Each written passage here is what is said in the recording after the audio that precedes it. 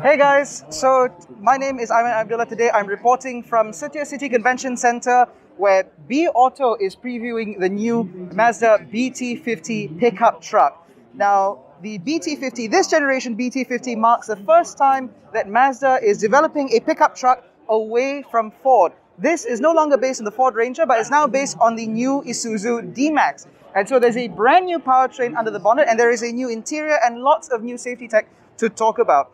Now, before we waste any more of your time, the new Mazda BT50 will be available with a 1.9 litre turbo diesel as well as a 3 litre turbo diesel with prices starting at 124,179 ringgit for the 1.9 and 143,208 ringgit for the 3 litre. So I'm going to keep these uh, pieces of paper with me as we go around the car. This is Malaysian Motoring. This is our very quick walk around of the new Mazda BT50.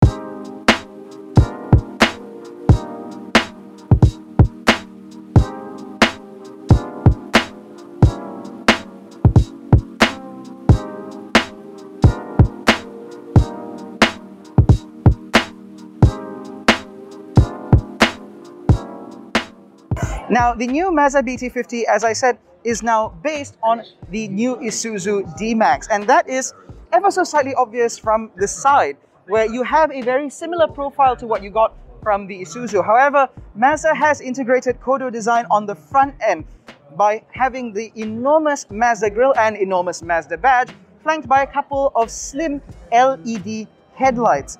At the rear, the changes are limited to only a new set of tail light clusters.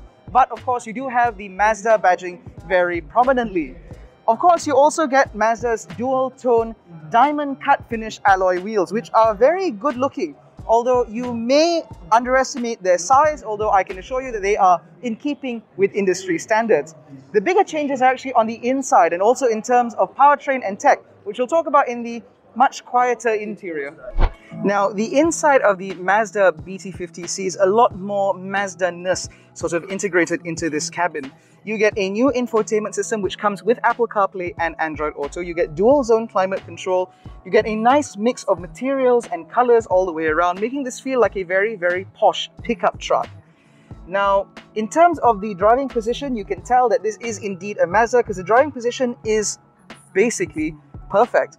And you can tell that Mazda has done a lot to try and make this feel a lot less utilitarian and a bit more civilized.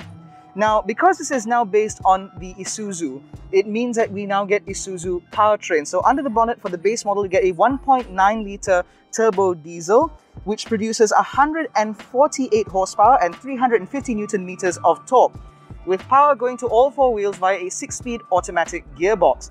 Now you can also opt for the 3 litre turbo diesel which puts out 188 horsepower and 450 newton meters of torque with again power going to all four wheels via the same 6-speed automatic gearbox.